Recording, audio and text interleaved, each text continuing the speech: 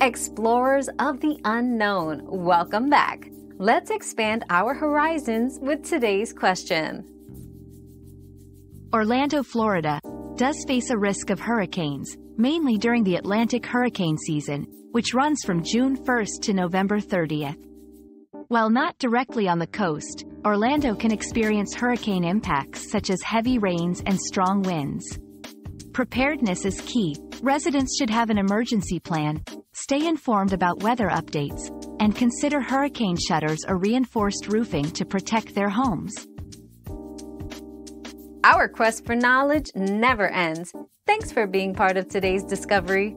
Subscribe, like, and share to join us on the next one.